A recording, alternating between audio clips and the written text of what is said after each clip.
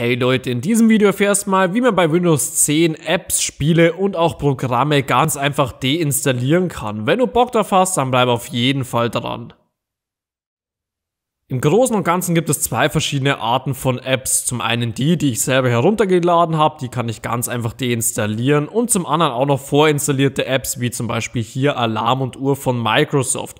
Das Problem ist, wenn ich diese deinstallieren möchte, dann ist das Ganze nicht so einfach und man kann sich dabei den PC relativ schnell auch kaputt machen, weswegen ich solche auch lieber behalten würde, da sie übrigens auch kaum Speicherplatz benötigen. Doch jetzt schauen wir mal, wie das Ganze am einfachsten geht. Ich bin gerade hier unten links links auf Start einmal draufgegangen und dann kann ich hier auf der linken Seite nämlich auch schon verschiedene Apps sehen. Das ist jetzt übrigens der erste Weg. Ich kann nämlich hier einfach einmal einen Rechtsklick drauf machen und wir sehen auch schon deinstallieren.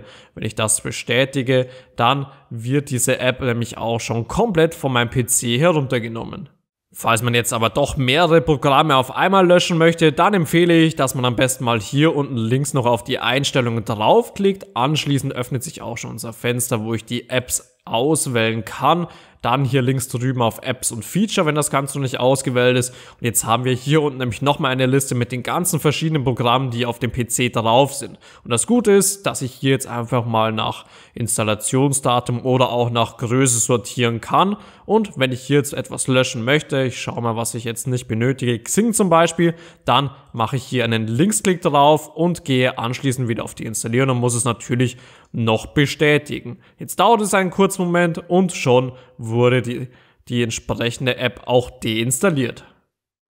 Wenn du dir übrigens aus der Zeit beliebteste PC-Zubehör im Internet einmal anschauen und vielleicht auch etwas davon zulegen möchtest, dann einfach mal hier unten drunter in der Videobeschreibung auf den entsprechenden Link klicken und du kommst direkt zu Amazon zu den beliebtesten PC-Zubehörprodukten. Falls dir das Video gefallen und auch weitergeholfen hat, kannst du mir gerne einen Daumen nach oben geben und es einmal unter dem Video in die Kommentare reinschreiben. Außerdem kannst du meinen Kanal noch hier oben kostenlos abonnieren, um kein neues Video mehr zu verpassen.